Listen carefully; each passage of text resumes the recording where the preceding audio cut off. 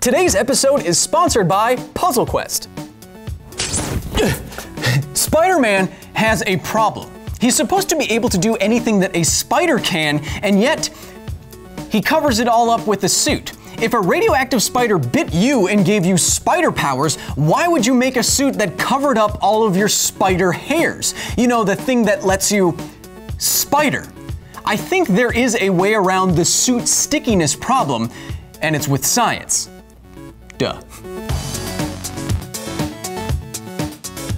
Uncle Carbon. Here's the scene I'm talking about from the first Spider Man film. In it, Peter Parker grows tiny barbed hairs on his hands and presumably his feet, and it's implied that it's those hairs that allow him to scale surfaces like a spider can. But if that's the case, wouldn't putting a full bodysuit over all of your skin negate the effect that that hair produces? Yes, yes, it would. But before we figure that out, how do spiders climb stuff? Here is a tiny, poorly drawn spider. Now, enhance. Those little hairs on its feet that you can see with your own eyes, what are on Tobey Maguire's hands, are called setae.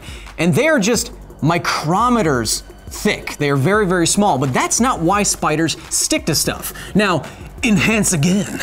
At the end of every one of those setae are hundreds of spatulae. They are just nanometers thick, and the real reason why spiders can stick to stuff. And maybe how the Powerpuff Girls' hands work? Oh, gross! Let's take a closer look at those spatulae.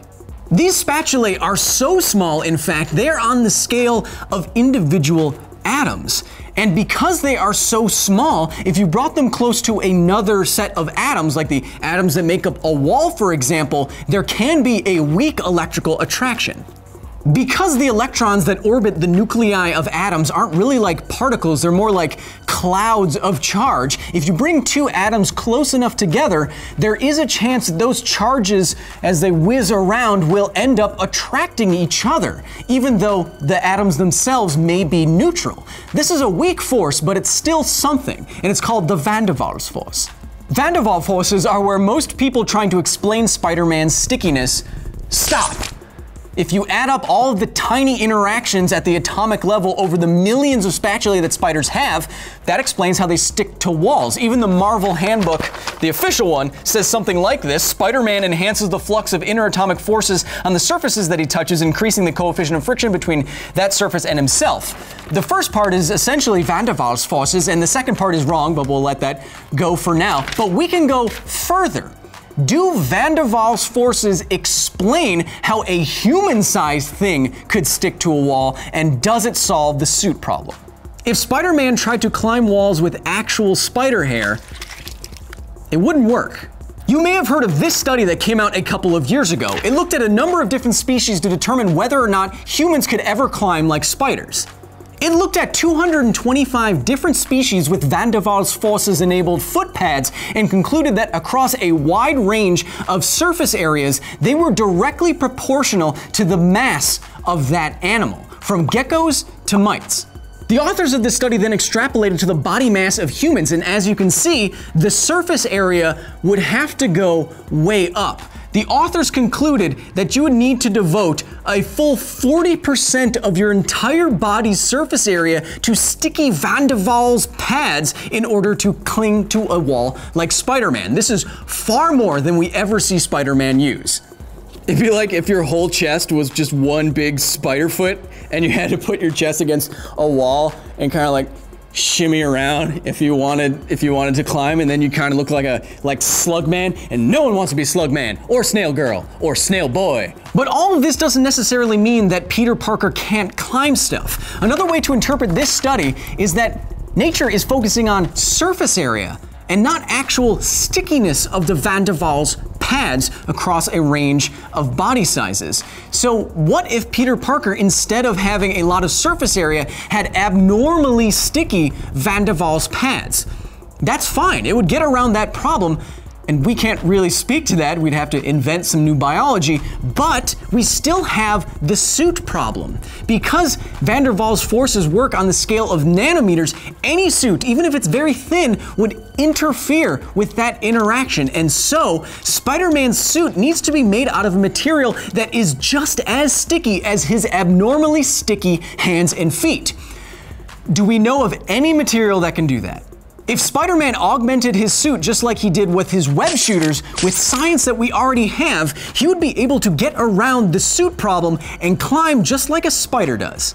Looking to the stickiness of gecko feet, university researchers at Dayton, Akron, the Air Force, and the Georgia Institute of Technology have created a material out of carbon nanotubes. A material so thin and so fine, it has a van der Waals interaction 10 times that of a gecko's foot. And remember, the gecko is basically the best at this. Time to do the math.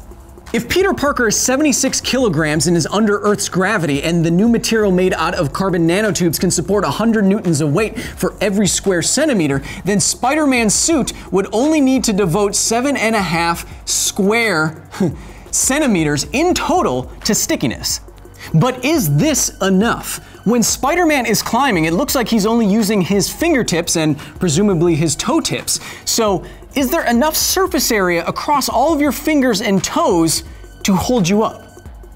Well, given that each one of my fingertips is around three square centimeters, and I have 20 of those, I get nine which means that there is nine times more surface area than you need to stick to a wall like Spider Man if you're using this carbon nanotube material.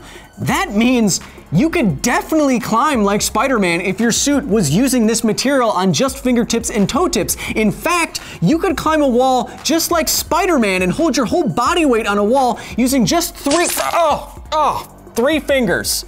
And also, Spider-Man skin would need to be this sticky to work. Ugh. Eh. Eh. Eh. So how does Spider-Man climb walls if he's wearing a suit? Well, Peter Parker is a science whiz. He would know that the nanoscale interactions that allow him to climb a wall with his bare skin would be negated if a suit came in between a wall and his skin. So, what I think he is doing is augmenting his suit with science, just like how he did with the web shooters. He has created a material that goes on the outside of the suit that gives it the adequate stickiness to give him super spider powers. Spider Man can do anything a spider can, and so his suit has to too. It just needs a little help. Because science.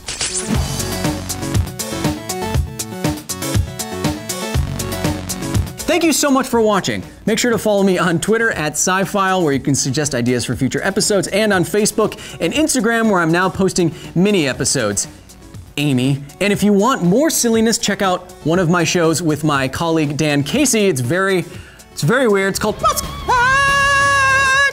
That's all you need to know about it. And if you want something a little bit more, ooh, premium, check out my new show on projectalpha.com called The Space Program. It's like Cosmos had a weird, long haired baby with Mystery Science Theater 3000.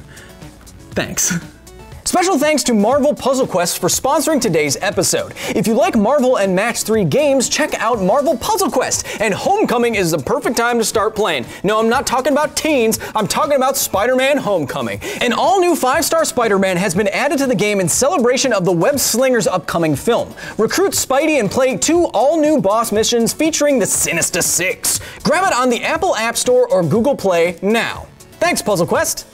It's not just about how Spider Man sticks to stuff, it's also, if you're climbing, you think about it, it's also how you unstick from stuff. Using that material that we just went through, he'd be able to do three points of contact and climb just fine. He could hold onto the wall with just three fingers, but how do you stick and then unstick? Well, the cool thing is the orientation of this material matters. If it's at one angle, it's sticky and it will stay on a wall. If it is at another angle, it will just detach.